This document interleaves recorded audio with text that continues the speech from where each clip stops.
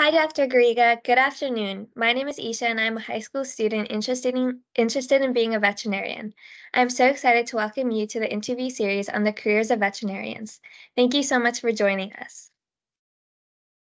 Let me start with an introduction of our speaker. Our speaker today is Dr. Rosa Garriga, a wildlife veterinarian and conservationist. She completed her veterinary degree from Barcelona, a master's in wildlife medicine from the University of London, and a PhD from Universidad Autónoma de Barcelona.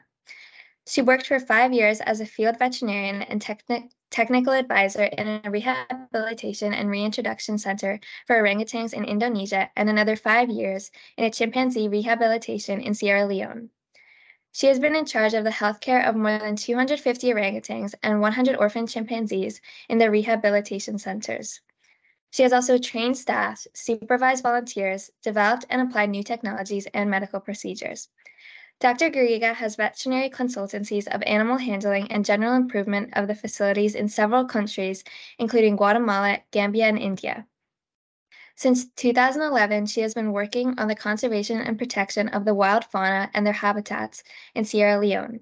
She has conducted field research including social science, wildlife surveys, GIS, and use of new survey technologies. Dr. Garriga also collaborates in education and environmental protection projects in Sierra Leone to promote sustainable development, enabling and empowering the local population to address environmental issues and development. Currently, she is consulting for various field research for the conservation and protection of chimpanzees and their habitat in Sierra Leone. With this introduction, let me extend a warm welcome and thank you to Dr. Garriga for chatting with me today. Okay, thank you, Aisha. So first, could you tell us about the various types of veterinary and conservation work that you have done? Okay, well, um, yes, I can explain you a little bit. Let me go through as you said, first I did my university, my degree in veterinary medicine in, in Barcelona in 1904. So it's a long way, a long way. And um, after that, I actually work for, I work in, in, in several small animal practices in Barcelona. Um, but uh, for about four years, I worked but I wasn't really happy with that. I didn't really, I liked it and enjoyed and I learned a lot. But uh, my my um, interests were more into wildlife medicine.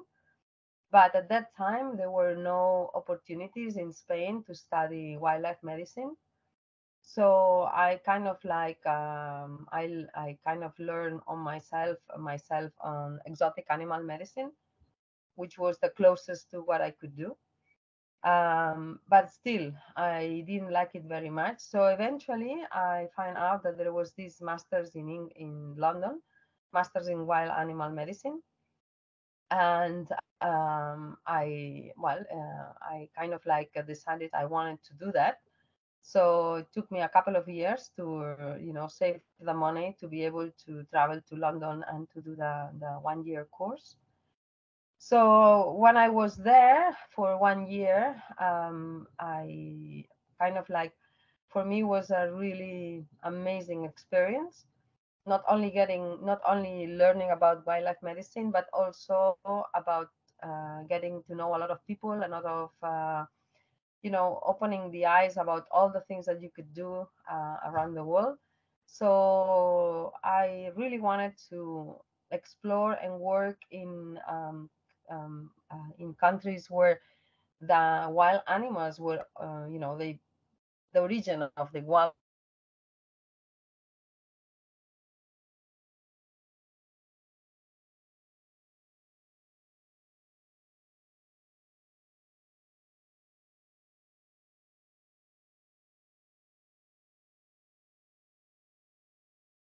to, Borneo, to Indonesia, as a six-month uh, volunteer, as a veterinarian, uh, in a rehabilitation center for orangutans. So it was really exciting because uh, for me it was my first like real far away country to work, um, and uh, I went there as a as a volunteer. So I went there for six months, but after two, three, four months, I realized it didn't make any sense to be there for only six months you really can do anything in six months. It is kind of it's is either your personal experience or really you want to dedicate your life to work with wild animals. So I said I could stay there for another six months, for a year. And after a few months, I told the organization I could stay for another year and then another year. And I carry on being there for almost five years. So when I went there, um, I I came to um, uh, the the Orangutan Foundation International, which is the organization who runs the place. It's led by uh, Birute Galdikas, who is a lady, was a woman who is um, uh, it's um, famous on uh, being the first uh, woman researcher who worked and studied orangutans in the wild. Uh, she's on the same, it's the same um, same kind of time as Jane Goodall for chimpanzees and Dian Fossey for gorillas. She was the lady for orangutans. So um, it was a, an amazing experience. She she did research her PhD when you know in the I don't know maybe the 70s 80s. She did her PhD in studying orangutans in the wild in Borneo, and after that she set up this uh, rehabilitation center for orangutans um, uh, orangutans, uh, I don't know if you are aware, but um, Borneo has the third largest uh, rainforest in the world after the Congo and the Amazons.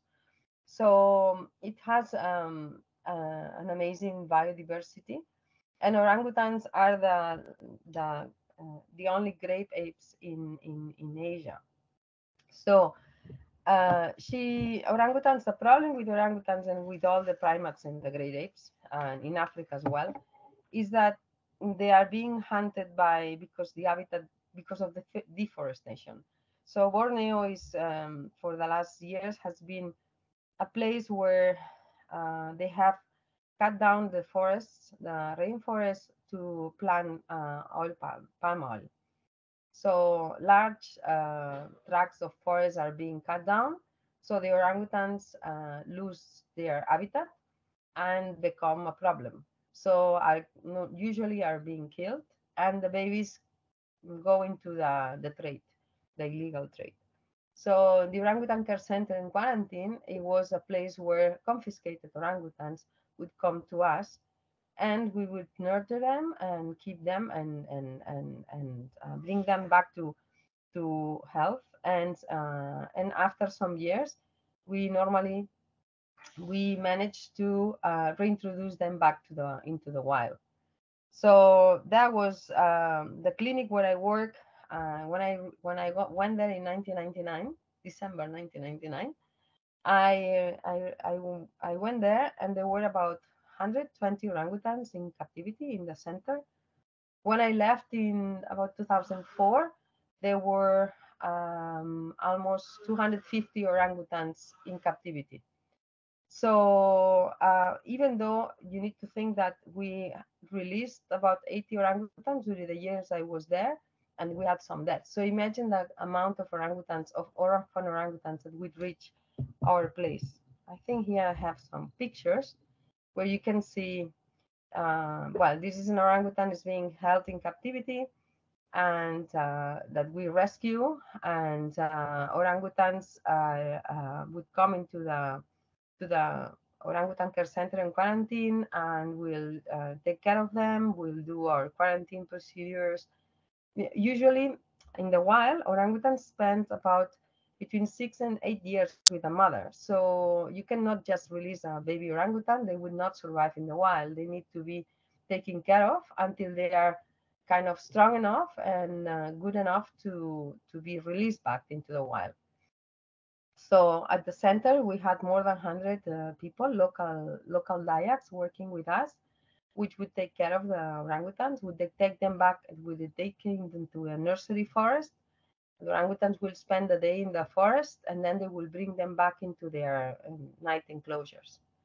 Um, when they were very small, the mothers would take care of them. Mothers, sorry, the the girls who would take care of them as as foster mothers.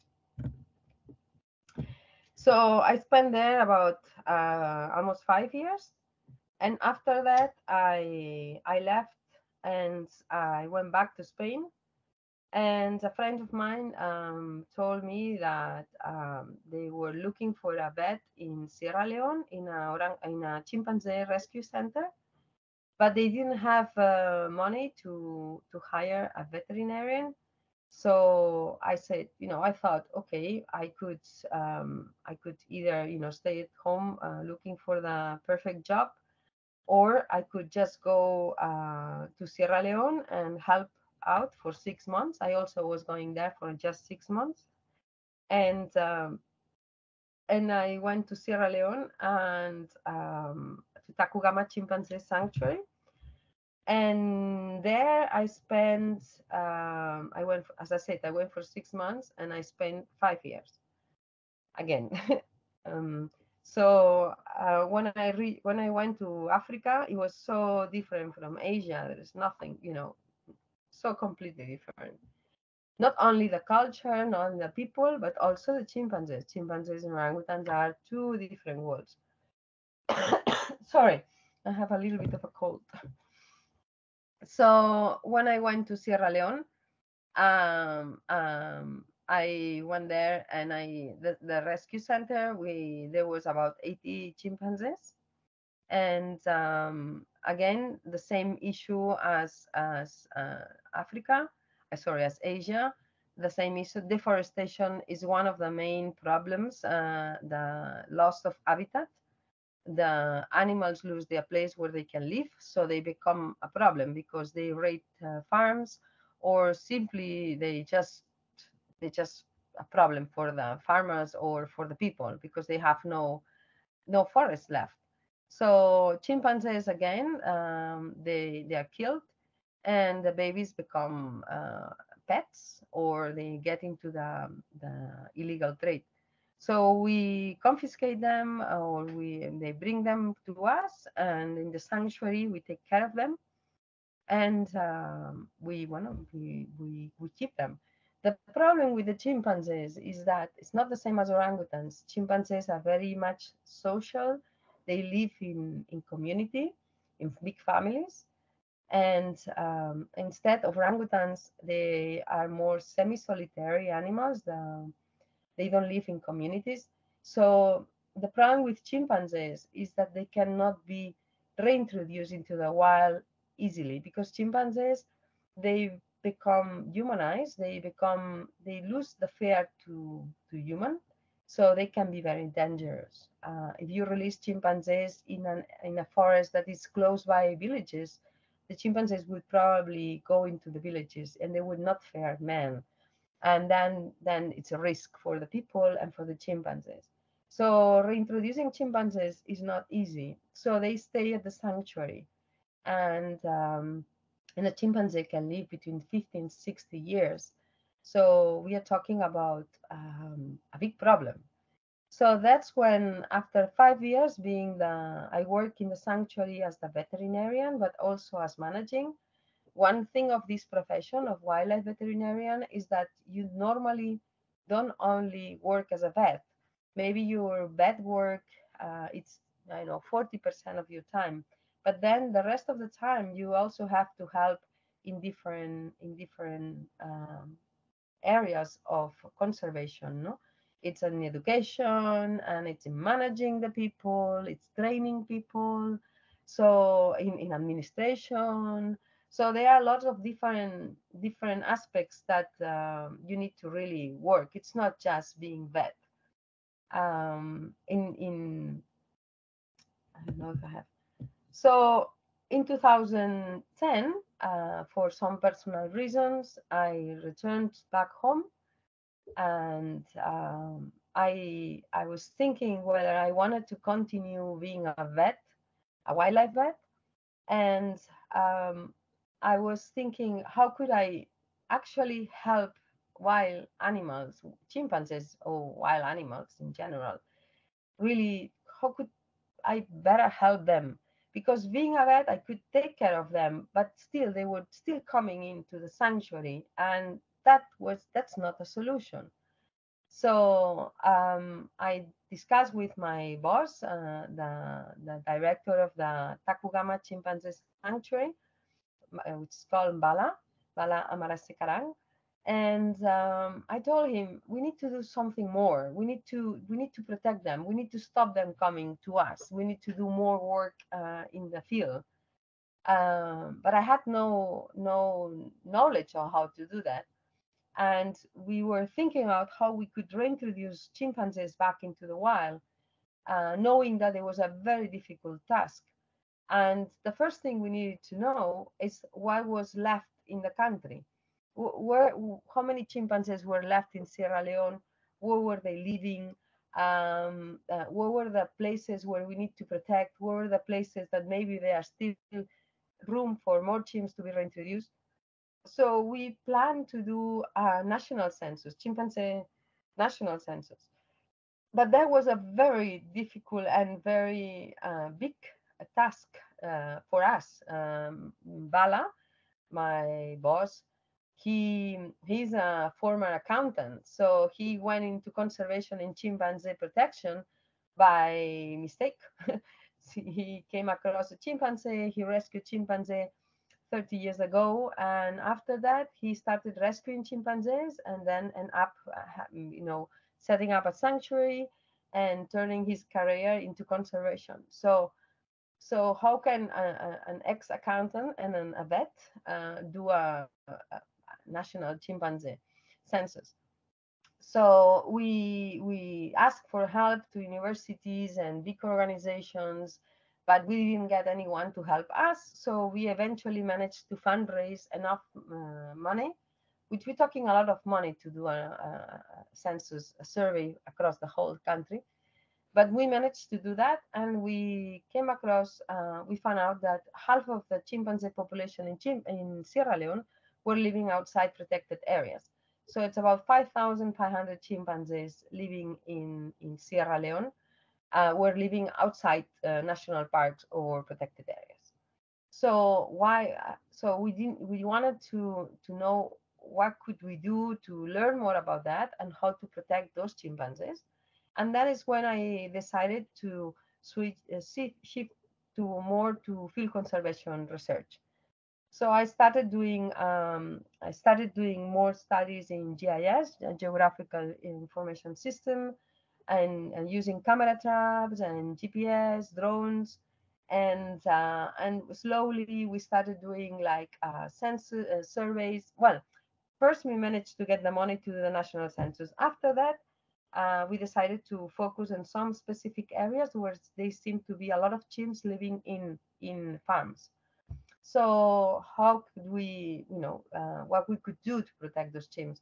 So that's when I started uh, writing proposals and looking for small money here and there to be able to go to those areas in Sierra Leone to do some studies.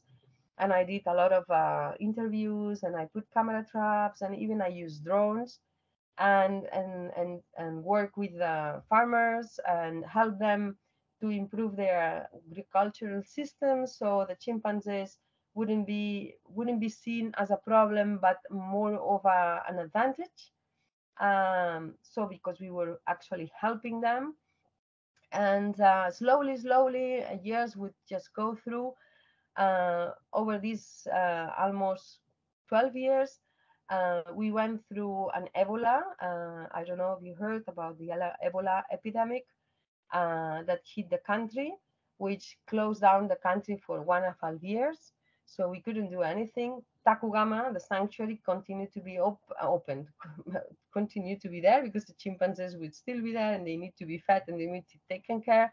But we couldn't travel there or you know, couldn't have uh, um, visitors or anything. It was very difficult times. Also, then we also had uh, COVID, uh, which also has a problem, you know, cut, shut down the country as well. So it hasn't been easy but we managed to do a lot of uh, work in the in the in the whole country and slowly slowly building up um, a team of um, an outreach team which we do a lot of uh, field work and research So in between all this, um, a friend of mine told me, why you, you know, with so much studies you've done in the field, why you don't do your uh, PhD? And I was like, well, you know, kind of my, I'm, you know, why should I do a PhD? I'm not really, you know, I'm uh, 50 year old. Uh, I don't really need it. But then uh, she was saying, well, I can do it by um, by um, publishing papers and you know building up a, uh, a, thesis. And I thought it was a very good for for Tacugama and for the chimpanzees if I could put together all the research I have been doing over the last years, and uh, I engaged into a PhD so I finished the PhD in 2018 and I studied basically the chimpanzees living in non-protected areas and in farm areas, which was very interesting to see how chimpanzees can adapt to the change, to the habitat change and how they survive in these uh, not very um, easy places. So since then, I'm kind of like stopped my vet work. Uh, I still, I'm very interested. I um, still do some uh, occasional work in Barcelona. Uh, I worked also in a refuge uh, place for uh, stray cats and also stray dogs. Uh, but this is just punctual work that I do to like locuming. Um, I love parasitology and the microscope. I do some teaching as well. Um, a lot of people wants to do. I they like to go to volunteer in these um, developing countries and they don't really know what they're gonna you know it's not easy it's a you know it's it sounds very very um, how can i say romantic work but it's hard it's hard and you need to be prepared when you you go to do some of this kind of work uh, so i do a lot of um, teaching as well some training to people who wants to engage in this kind of uh, field that work. Oh, sorry. Uh, here, some, you know, uh, the um, the conservation and, and work I'm doing now, research, it's very very exciting.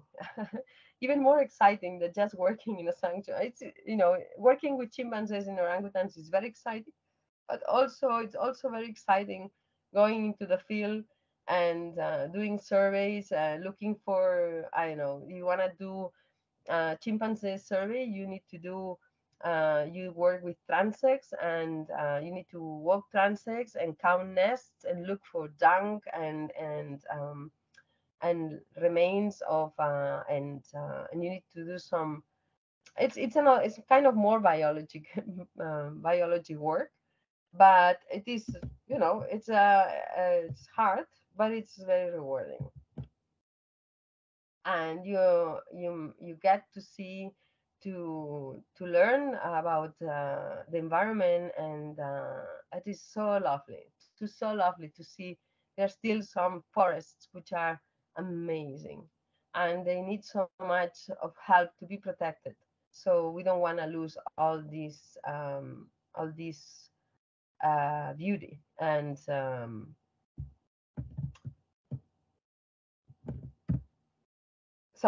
so yeah this is more or less my my my career life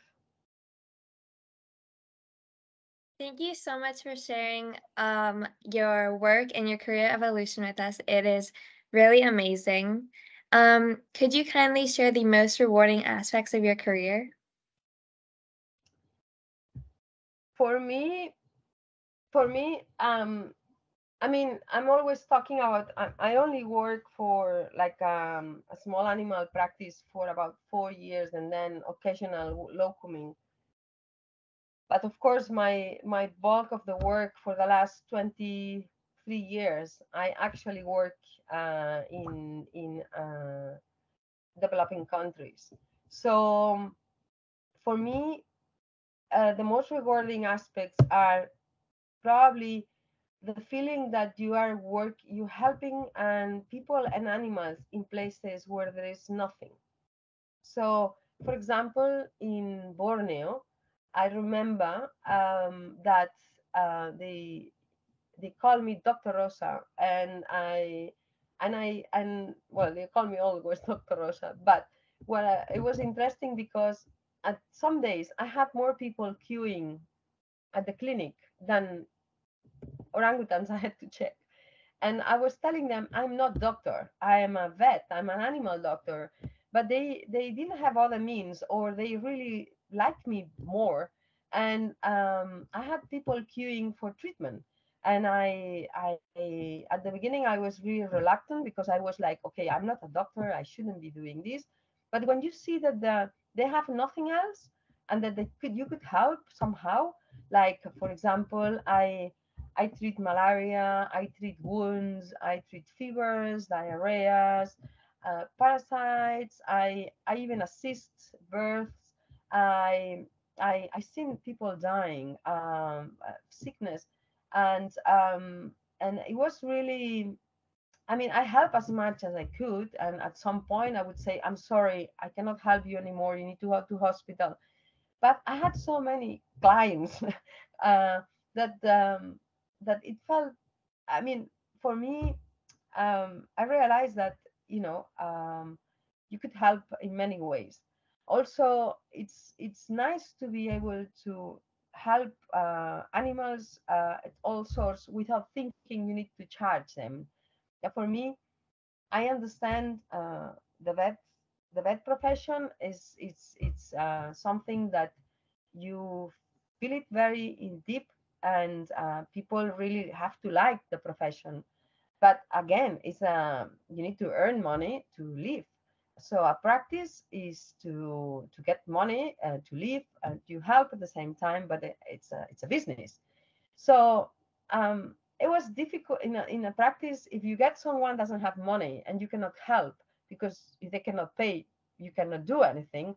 For me that was that was i couldn't i couldn't deal with that in these places, uh, you have little means, but at least you do as much as you can and you help as much as you can. And uh, for me, that was very important. Also, of course, living in this area, in these places, you learn a lot about new cultures like these pictures or new ways of life. And, and um, life and death is different the way they, they, uh, they live those things compared to more Western culture um, that's not uh, it's common. When you ask someone how many children you have they will easily tell you well i have uh, six children four alive and two dead and um, and they for them it's kind of like that's life and it's that and they accept it. It's it's painful but the way they the life continues. They need to look for their food every day. They need to survive. So you cannot really get into um, you cannot stop uh, your life because life continues. And that's a, it, it, teaches you a lot at least to me. Also uh, another thing for me was very rewarding is the fact that you become very resource, resourceful. You don't have many means. You have to think every day how to solve problems how to get things done in western countries you can just get on your phone and oh can you please uh, i need to buy this you know amazon. And then next day you have it home. But there there no. I mean if you want to get oxygen uh, in in i remember in sierra leone uh, we needed to get dry ice to transport some samples. And uh, dry ice was nowhere to be found in the country in the whole country so we eventually managed to go into the company, Coca-Cola company. There was a, um, a factory that were doing Coca-Cola. So they had this um, um, CO2 that you could actually uh, get from a pipe. You put a, a, a bag, um, a cloth bag, and then you could open the pipe and get some um, some dry ice. So what I'm thinking, you can become very resourceful and resolute, and it's good. It's good for the brain. It's just you know um, also, um, again, um, you have to expand your imagination and also and be very patient. I am a kind of like, mm, I'm not very patient, but I had to learn to how to be patient because in these countries, when it's not today, it's gonna be tomorrow, and enough after tomorrow, and that's not a big problem. And for me, also was very, uh, very nice because I learned, uh, I met a lot of people from all around the world starting from my master's, uh, where I met a lot of people from 15 different countries. uh, because we were 15 in the in the masters, and everyone was from a country different, and it was so so nice. And after that, everywhere where I went to work, they had a lot of volunteers and a lot of uh, um, people coming from different countries. So it is it is well for me. Um, it is uh, very rewarding and well you get a lot of experience as i said not only in veterinary but in medical social cultural uh, everything. So yeah for me these are the most rewarding aspects of my my my work. Yeah thank you so much for sharing that. It's really moving and it's really wonderful the impact that you have made on the world how do you believe that the veterinary profession has changed during the span of your career, and how have you and other successful professionals adapted to this? Well, um, for me, um, how the how the, the the profession has changed. Think that when I studied at university, we didn't have internet. Internet didn't exist. Uh, so I mean, internet, I was, it is amazing. I mean, uh, when I went to uh, London to do my master's, internet was uh, already was you know working, but it was uh, in the initial stages. So it was basically it was basic. Now uh, you can do everything. We can we can now be doing this um, this meeting uh, and you're recording it and being on the web so everyone can see so these things have, uh, I mean, has a huge advantage. Being in remote areas where you are, if you can get some internet, um, it helps a lot when you're alone working as a vet or as a researcher and you, you have a question, you have a doubt, or you have something. There is always someone out there that has an answer, and that's um, it's, it's it's huge. It's huge.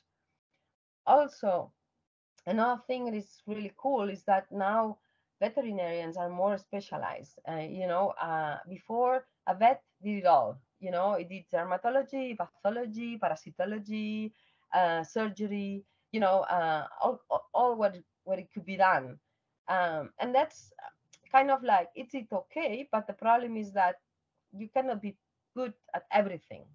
So um, in the Western countries, uh, it is great because you can you have an issue with a broken bone, you can go specialist at that special vet who is, you know, specialized in that uh, trauma, and it can help you and be very good and sort out the problem. Maybe you know I couldn't do it. Um, this in developing countries is difficult to find. So often you rely on human doctors um, because working with great apes, think that chimpanzees are genetically similar to humans in 99% and orangutans in 97%. So I used to work with, um, instead of uh, veterinary um, um, books, I used to, to have most pediatric books other than, than veterinary books. For example, all my um, uh, drug medicines, all the doses I use, I use for human pediatric uh, doses other than than veterinary doses. So you rely, you know, you had a a problem, a you know, a big issue that I couldn't figure out or I couldn't know how to sort it out, I normally look for a specialized doctor uh, to help me out. And then, uh, of course, you know, the diagnostic tools. Uh, now it's amazing. You have uh, portable ECGs, you have portable X-rays, digital X-rays. I mean, uh, it, it, I mean, there's nothing. I, am still sorry. I'm still uh, using um, a manual um, uh, blood analysis uh, in some uh, when I work when I used to work as a vet because I didn't have machines. But uh, of course, this has improved a lot compared to when I studied.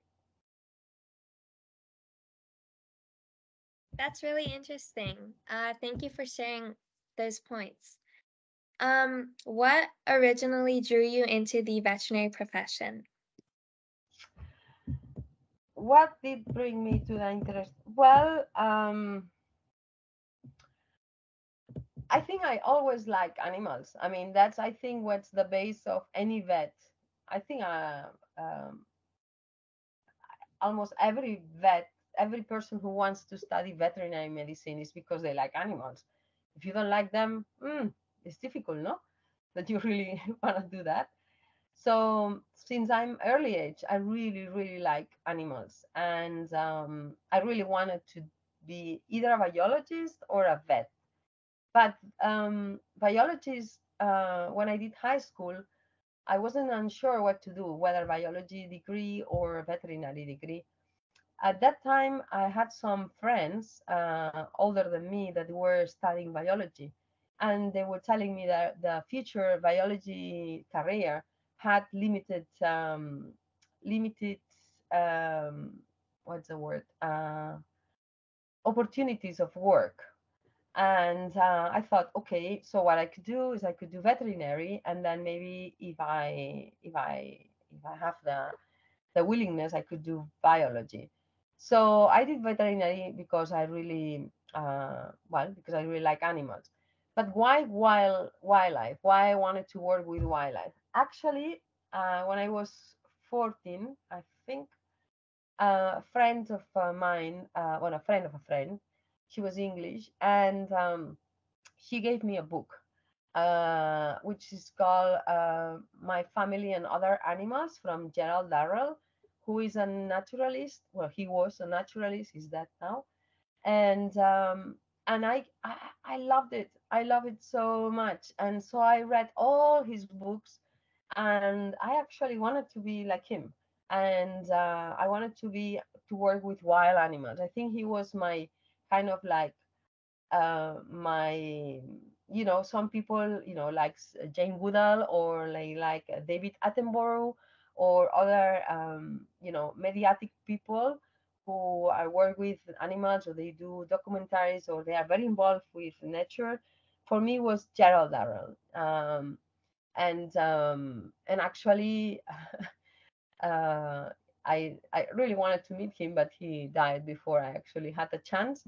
He one of the things he did was set up um, a zoo in Jersey Island Island in uh, in the Channel in the um, in the Channel Islands um, between England and France, and um, it was a zoo only for endangered animals. So he only was uh, keeping there endangered animals to be able to breed them and have uh, be able to probably maybe reintroduce them back to the wild. So I thought this um, this type of zoo uh, it was more um, more of the type of work I wanted to do. Uh, but again, uh, uh finally, I, I prefer to go into work into to place the origin of the animals, uh, wildlife. And uh, but yes, he was my kind of like the person who made me go into this uh, field. That's really cool. Thank you for sharing that. Um, what has been more valuable in your career, your education or your experience? I have to say the experience, 100%. Um, the education was um, my education has been i mean uh, it's good uh, uh, now i think i wish i had paid more attention to my education um, but uh, i actually for me i started learning more and uh, when I, I started working so i think the education i received probably things have changed i think that i am uh, 54 now, and, and this is about what 30 years ago when I was doing my degree. Uh, things have changed a lot. So the type of education the veterinary students get now probably is nothing to do what I did.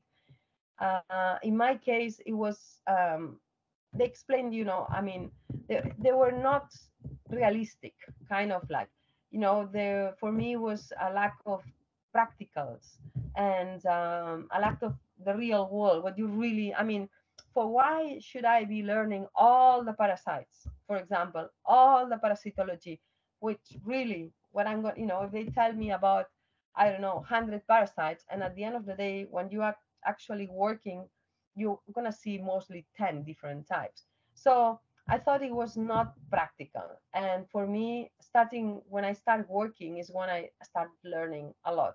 And then when I start working and I realized I need to learn, and then I look for the information I really need for my work. And so then I start learning more and more and more of the things I really was interested or that I really needed. So yes, um, I think maybe things have changed now, but for me, uh, experience. And I wish I had more time. My problem also was that when I when I started studying at the university for some family issues, I left home a very early age, actually my first year of degree. So I had to be, I had to work. So I was working at the same as time as, as studying at the university. It was really hard time. And I didn't have opportunity to do a lot of training. So I wish if I hadn't had to work, I could have spent time with vets, training, practicing, and I think that would have been uh, very, you know, complementing my studies much better than they did. But anyway, uh, that's my experience. So. Yeah, thanks for uh, discussing that and like sharing your uh, view on that. So, based on your extensive experience as a wildlife veterinarian, what are some of the challenges that are faced by wildlife veterinarians? Well, this is my last slide. Um, what are the challenges? Well, there are many, many. Uh, but um, for me, well, one of the main issues when you work as a, a field wildlife veterinarian is the lack of financial means and diagnostic tools you normally don't have money. These uh, sanctuaries, these uh, rehab places across the world uh, usually usually don't have um, resources. So you basically work with what you have in your hands. So it's not like you get the problem, you know, an animal is sick and you say, okay, we're gonna do this analysis and this X-ray and this ultrasound and this test and blah blah blah. No, basically you have usually you have your your uh, thermometer and your stethoscope and, and and your hands and your and your and that's about it.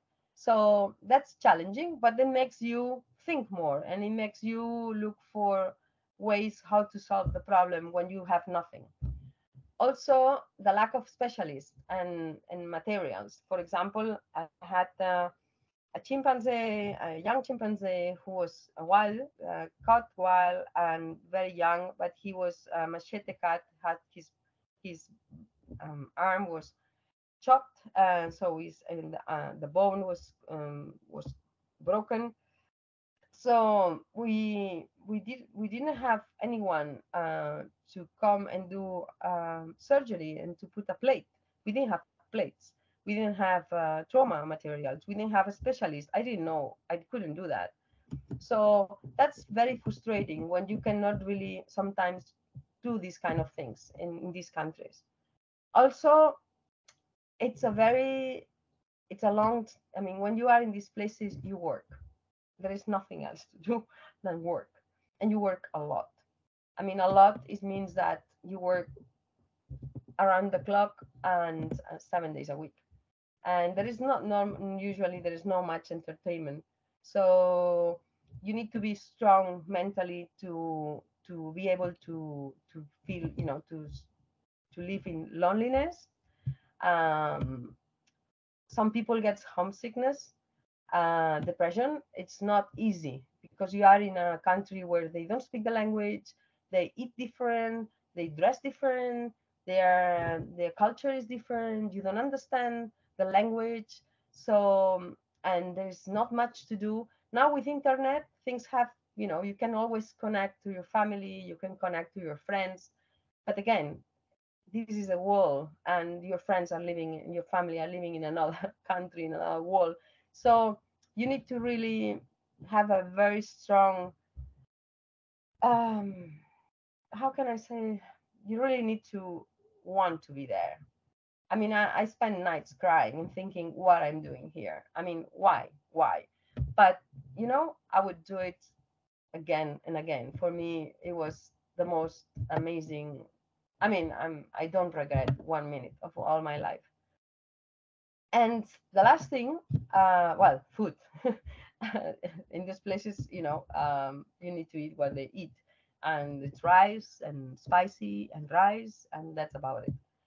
And also underpaid. I mean, usually, as you as I told you at the beginning, I went to these places as a volunteer, and I work for free for months until eventually I would say, okay, I can stay here longer. You should pay me something. So we figured out a way to get money to pay me. But again, if you want to get rich, if you want to get, you know, uh, you want to have a social life, if you want to, if you want to have a family, this is difficult uh, uh, in this kind of uh, life. Yeah, this is very insightful and I have learned a lot. Thank you so much for chatting with me today and sharing your amazing experiences as a wildlife veterinarian and conservationist. It's so inspiring to hear about your career journey helping so many animals across so many continents. I wish you continued success in your career. Thank you to you. And hopefully, this is useful. yes, it definitely was.